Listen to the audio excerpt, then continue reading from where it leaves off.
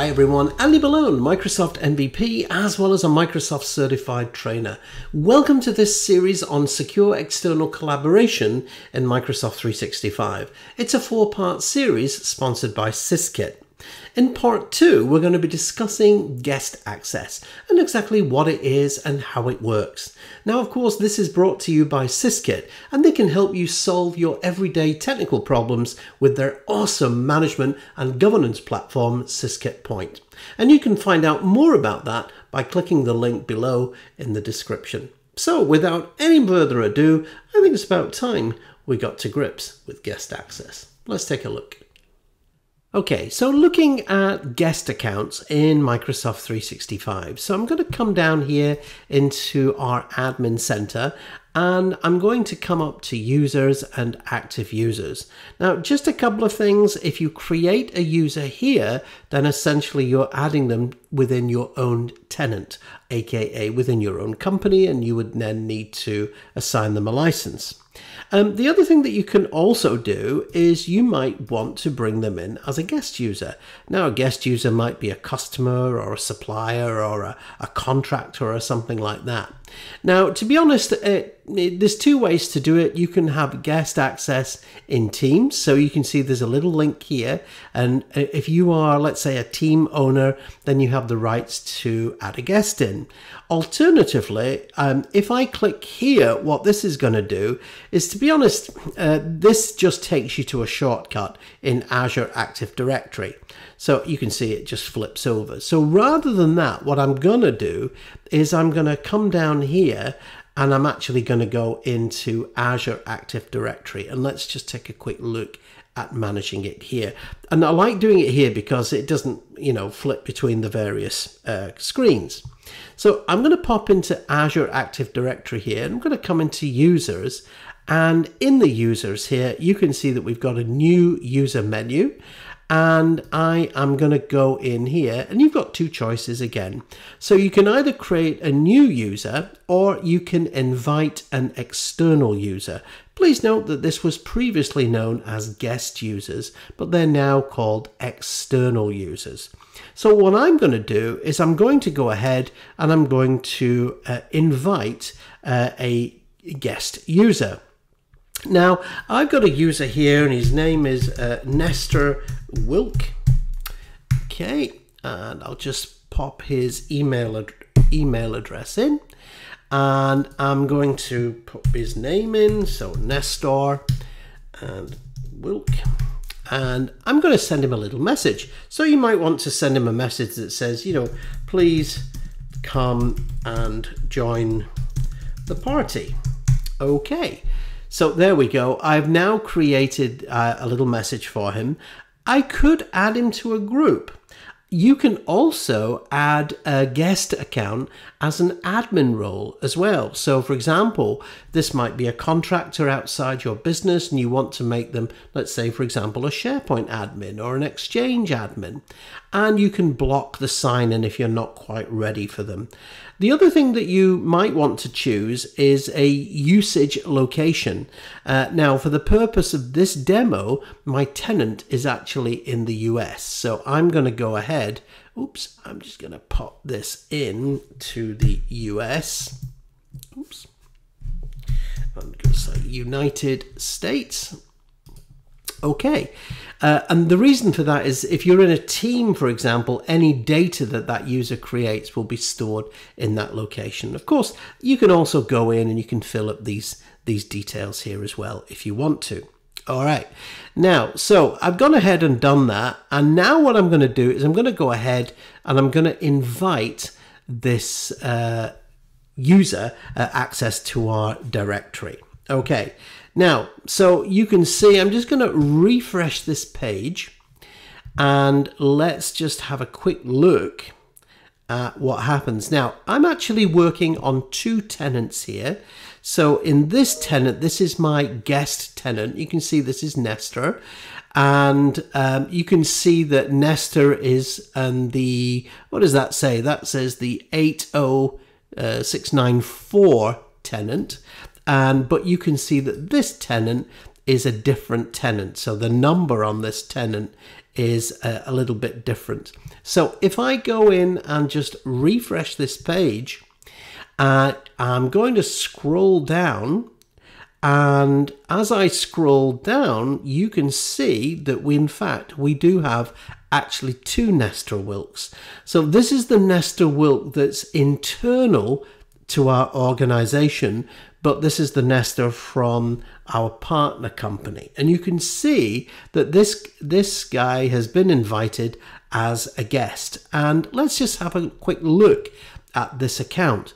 So you can see that you have your email address and but look at this you can also see that it's ext it's an external user it's an external guest here now what can you do with that well some of the first thing uh, so that invite has gone out. So i can just if i pop over to nestor here you can now see that nestor has received an invite. Now just before i go ahead and access this one of the things i want to do is just mention um, what else can you do before before i show you the invite the, the question is who can send out these invitations. All right.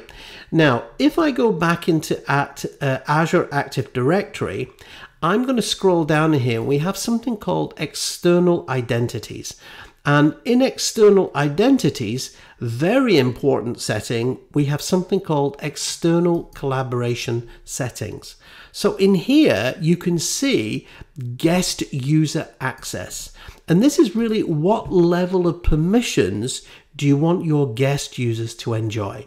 So for example, here, this option, guest users will have the same access as members. So if you had internal members in a team or a Microsoft 365 group, um, again, they will have that full inclusion. Uh, the second option, guest users will have limited access to specific properties and memberships. And then guest access is restricted to properties and memberships in their own directory objects only. And that's the most restrictive. All right. Now, for the purpose of this demo, that's fine. I'm happy with that. And this is super important, folks. So the question is, who can invite guests? So anyone in the organization can invite guests, including guests. Oh my, mm, maybe not. Okay, um, that is kind of just completely wide open. Uh, member users and users assigned to specific admin roles can invite guests. And I'll talk about that role in a moment. Now, that's quite a useful one. All right. So, members, uh, member users, or, or users specific admin roles. Now, um, if you don't want members, let's say, for example, you just wanted owners to do this, then you can choose only users assigned to specific admin roles. And then finally, no one in the organization can invite guests. And this is the most restrictive. So, for example, it's internal only. Now, for the purpose of this demo, I'm going to go ahead, I'm going to choose uh, this option here. Now, if you're using tools like, let's say, uh, Microsoft Power Automate or Microsoft Power Apps, you can possibly create like an automation. So, for example, when somebody fills in an online form, they automatically will get access to as a guest. Do you want to do any collaboration restrictions? So if you leave it blank, if you don't put anything in here, it means it's just uh, open to all. It's everybody can connect. But if you decide to, let's say, um, allow invitation or deny invitations to speci- specific domains, um, then essentially what you're creating is a block list. So you're blocking, so you're basically saying, um, oh, open to everyone except these domains. And then allow invitations only to specific domains. So this you're making a, a very explicit allow list uh, with this option. Okay, so those are the the different options, and of course you would then put those target domains in here. So this is a really important uh, feature there. Okay, so that's the external collaboration settings. Now, um, what else is important for guest access? Well, um, we've gone ahead, we've created our guests. Um, the next thing is uh, what do we want our guests to have access to? So, uh, for example, I, I could go into applications here, and I've got an application here called LinkedIn. And LinkedIn, of course, everybody knows LinkedIn. I could say, hey, you know, I would like a guest to have access to this. So I can come in here and I can now add in uh, a user. Um, so I'm going to go in, I'm going to add a user here and I'm going to type in Nestor and as we can see of course I've got two options here and this is the this is the external uh, Nestor. So I'm going to go ahead I'm going to bring him in. All right and let's just click on assign and there we go. And maybe one other. Let's just have a quick look see what other applications we've got. I've got zoom here so if we wanted the user to have access to zoom again I could just click in add the user.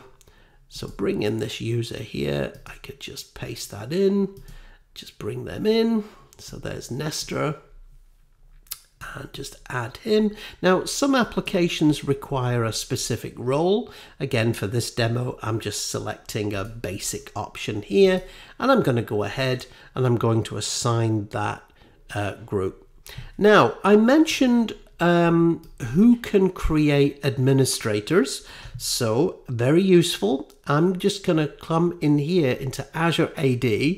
And if I click into roles and admins, Okay, there is a group here called, if I just scroll down, and don't be overwhelmed by all of these different roles, by the way, we have a special role here called the guest inviter role. Now, by default, if you are an owner of a group uh, and you're allowing it as an admin, then uh, owners will also have the rights to invite guests. But this is that special role. So, for example, you might have managers within the organization uh, who are going to do that, for example. All right. Now, that's uh, that. So um, now what we're going to do is let's go back in and let's have a look at what the experience is like from Nestor's side. So, okay, so Nestor has received an invite and I'm going to say, yeah, hey, you know what, Nestor, I'm going to go ahead and access this. So he's accepting the invite and this is now opening up uh, Microsoft Teams uh, for the user not Microsoft Teams rather, but he's getting access to the Adatum site. Nestor's site was called Contoso, as you just saw. Look at that, he's now got access to his apps. So not only is he a guest, but he also has access to any applications that you might want to make available for the user. So that's one way of inviting guests in. It can be an admin function. Now, if you decide to allow your users to create Microsoft 365 groups and Microsoft Teams, and you want those users to be able to invite guests, what's that experience like? Let's take a look. So here I am and I'm, what I'm going to do now is I'm actually just going to flip over and I'm going to come in to Microsoft Teams. So inviting a user um, can be done in a number of different ways. Now let's just have a quick look. So in here I've got a, a number of teams here. I've got a team called Oslo Sales and what I want to do is I want to add in a member to this. So of course this user is an external user. So I'm going to add in and you can see that Andy is here and is going to come in as a guest. All right, so this will just take a moment. Okay, so you can see that Andy has now been added in as a guest. Now, if I just click on close here, of course, what's happened is that user has now been added in. So you can see that Andy has now come in and he's a guest account. Right. Uh, now, if I pop back into Azure Active Directory, in fact, I don't even need to go there. If I come into users and come into guest users, you'll now see that Andy indeed is a guest user. And of course, you can see his email address. Now that's the interesting thing. If you you'll notice his email address is normal here, but if I just pop back into Azure Active Directory, you get more of a, a realistic uh, view of that. So if I go back in here and then I go into users, and in the users, of course, Andy is going to be at the top here. So here's Andy. And, and you can see that if I click onto Andy's account, you can see there we go. So uh, that's the tenant dot onmicrosoft.com so that's his that's his external email address and ext. So what this is doing is it's creating an external account within my tenant just as before. The only difference here is that of course you have gone in and added uh, Andy in as a guest. So what's that experience like for the user? Well, let's just pop over and you can see that Andy's received an email. So all I now need to do is go in and say, yeah, that's fine. I'll just click on that and I'll go ahead and say, yeah, I want to open in Microsoft Teams and I will now have access at the appropriate uh, level. All right. Now, this time, of course, you get an OAuth token and this is open authentication and this is basically just request saying what permissions does the app require you to have and it's just signing you in and it's just reading your basic details. So I'm going to accept that on behalf of my organization and you can now see that when Teams opens I will now have access to uh, any documents any work and now you should see that Andy has now got access all right. Now, um, it's saying, do you want to switch to Adatum? Um, and we might ask you to sign in. So I'm going to say, yes, that's absolutely fine because it's logging me under a different account. All right, because I'm now a guest in that separate organization. So there you have it. I now have access uh, to the, the Oslo sales team as a guest account. So there you have it, guest access, now part of Microsoft 365 and of course Azure Active Directory. Isn't that cool? I really hope you enjoyed that. Uh, now, do remember to check out Syskit and how they can help you solve your troubleshooting issues with their awesome management and governance platform for 365, Syskit Point. You can check the links uh, below. And of course, if you've not subscribed to the channel, please go ahead, hit that subscribe button, ring that bell, and you won't miss out on the good stuff in the future. Now, now, in part three, uh, we're going to take a look at B2B Direct Connect, the all new sharing feature which comes part of Azure Active Directory, and it absolutely rocks. So don't miss out on that. So, from me, Andy Malone, you stay safe, and I'll see you soon. Take care.